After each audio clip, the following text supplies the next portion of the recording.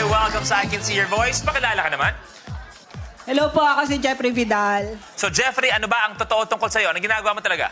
Uh, nagwo-work po ako call center agent. Balita ko lang, eh, ah, alam ko nagkakasiyahan tayo, pero seryosong usapan naman. Balita ko may kakaibang hugot ka raw pagdating sa iyong love life. Wow.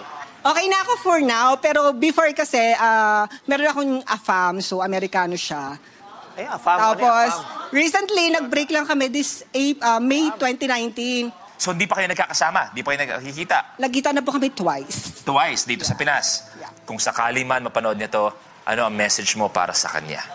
Ah, friend, tsaka ex, dyan lang kayo kasi mapapanood nyo na ako sa YouTube.